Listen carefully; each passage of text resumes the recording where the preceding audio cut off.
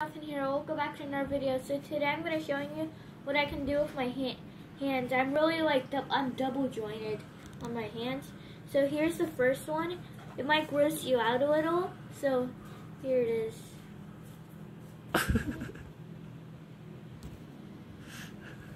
So I can even put it all the way to my wrist. And the second, there's only wait. So the second one is like uh, you can just you can you can uh, I can twist my uh, whole thumb around. Uh, a lot of you might uh, be able to do this because I But don't try this at home, kids. yeah don't try this at home. So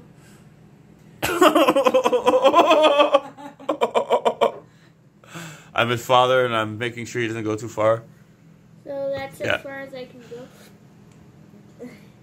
So yeah, that's It's King Muffin here. Yeah.